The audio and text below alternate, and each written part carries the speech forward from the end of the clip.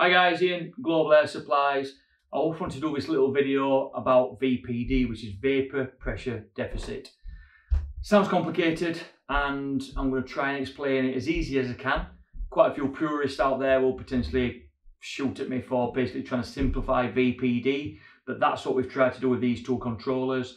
We've, we've set the VPD in the controller, so basically you can have an early veg, an early flower and a late flower and everything's preset in this so it makes it really easy for you guys just to get the controllers connect them to our humidifiers and, and hopefully we've done the process for you. There's algorithms in there which basically measure your vpd measure your temperature and your humidity and keep the, the environment absolutely perfect. Vpd is basically a relationship between temperature and humidity with your plant. That's realistically all it is so a, a plant will transpire if it's at a perfect environment. So basically, if you've got too drier environment, your plants will be basically taking water out of your growing medium or whatever you whatever you're growing in and trans- trying to transpire through the plant. If it's too dry, it's going to be transpiring really quickly, and what you're going to get, you're going to get nutrient lockout, you're going to get nutrient burn, and basically a bit of an un- unhealthy plant.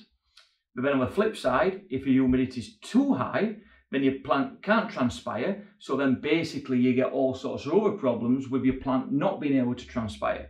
So what you really need is a, is a perfect temperature with a perfect humidity, which allows the plant to transpire really, really easily. So what, what VPD is, it's, it's that measurement of vapor pressure deficit, which allows the plants to transpire properly at the correct temperature.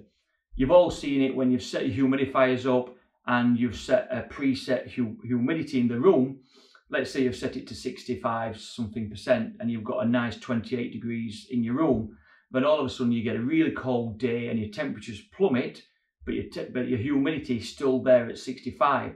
What happens then? All the water basically drops out of the air and covers your complete grow room in water, which basically causes loads of issues, plant issues, mold issues, and things like that.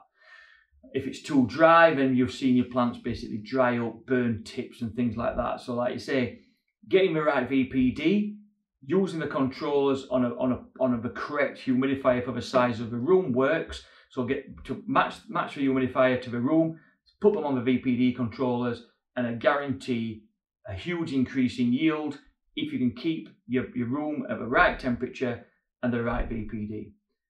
Any more information on VPD, just drop me a line, drop me an email, and I'll do my best to basically give you as much information as possible. There's loads of information about VPD online. Go away, have a read about it, and basically you'll understand how important VPD is for your room. Any more information, just go online, globalair.supplies.co.uk. Again, just give me a call. Cheers, guys.